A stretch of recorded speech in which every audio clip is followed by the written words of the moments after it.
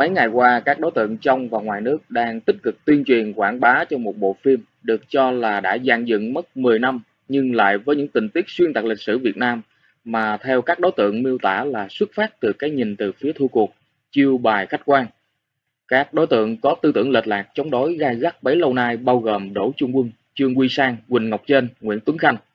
đang tập trung cổ suý cho bộ phim sai trái này như một cách bám vào cái phao đang chìm của chúng. Cùng với đó, trong bộ phim sử dụng dữ liệu phỏng vấn với những đối tượng chống đối trong nước như Nguyên Ngọc, Quy Đức. Với lăng kính của những con người lệch lạc đã bị cả dân tộc lên án gai gắt thì không thể nào đưa ra được những quan điểm đúng đắn. Chưa nói đến nhận định, phán xét của họ sẽ là bịa đặt xuyên tạc lịch sử từ góc nhìn lăng kính đầy hàng học. Để thực hiện một bộ phim phải trải qua rất nhiều khâu, từ khi hình thành ý tưởng rồi đến kịch bản, tiến hành các thủ tục hợp đồng, quay phim và rất nhiều các công việc khác nữa. Thời gian 10 năm cho một bộ phim cũng không phải là dài, đặc biệt là một bộ phim với đề tài lịch sử. Mục đích của bộ phim này nằm trong chiến dịch tô đậm cái thực tế, cái thực thể mà các đối tượng và thế lực chống đối đang cố vẽ rõ nét hơn mang tên hòa giải, hòa hợp dân tộc. Chúng đang muốn giành lại sự chính danh mang tên lịch sử khi mà những người thực sự chứng kiến lịch sử giờ không còn nhiều. Chỉ còn lại các nhà sử học nghiên cứu về đúng bản chất của chính quyền quỷ trước kia. Bản chất là giả tạo, tai sai, không hề thay đổi và lịch sử luôn phản ảnh đúng như vậy. Giờ đây chúng đang cố gắng để tẩy xóa đi điều đó, để thực hiện cái mà các đối tượng gọi là đòi lại những gì đã mất trong quá khứ. Không chỉ dừng lại ở bộ phim, mà các thành phần quảng bá tuyên truyền trong chiến dịch được sắp đặt trước cho bộ phim này đã tổ chức cả hội thảo bàn về nội dung phim nhưng thực ra hội thảo không hề có gì về nội dung mà chỉ là một hình thức tập hợp với nhau nhằm đánh bóng cho bộ phim. Một hội thảo cũng lố bịch không kém khi mà chỉ toàn thành phần là tiếng Việt nói không sỏi,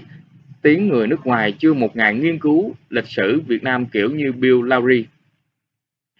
Các đối tượng trong nước bấy lâu nay vẫn tích cực tuyên truyền chống phá Việt Nam, cảm thấy có phần phấn khích khi có một bộ phim để chúng tập trung vào làm đề tài và tranh đấu cho cái tư duy lệch lạc của mình. Một nguồn tài liệu cho dù là thiếu chính xác nhưng méo mó có hơn không.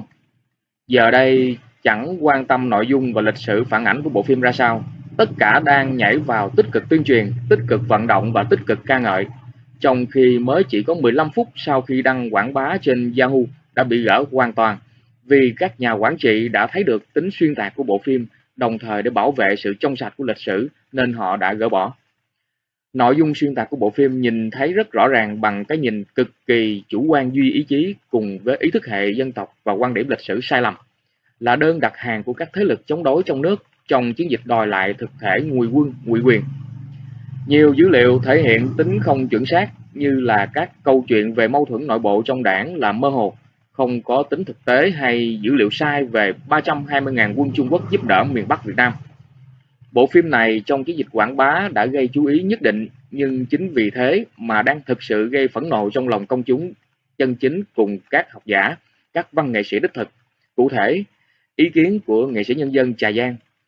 thì cho rằng bộ phim là những gì không có thật, cần phải lên án, phản đối, phản đối cũng loại bỏ nó để đảm bảo cho sự trong sạch của lịch sử.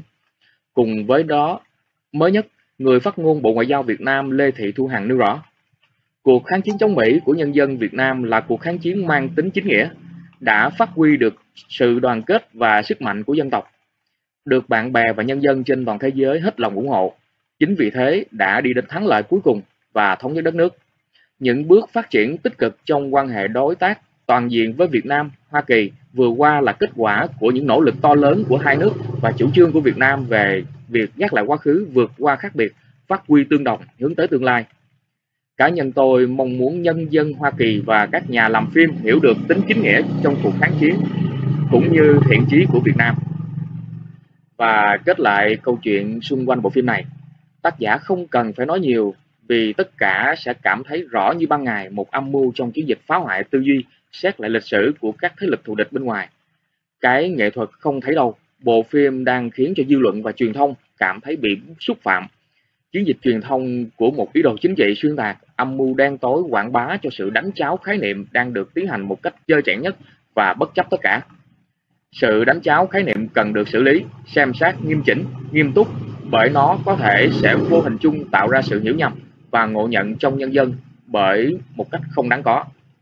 Và những nội dung lệch lạc của bộ phim phải được phán xét công bằng cho những gì thuộc về máu và xương của bao thế hệ đã hy sinh vì Tổ quốc không thể bị xúc phạm.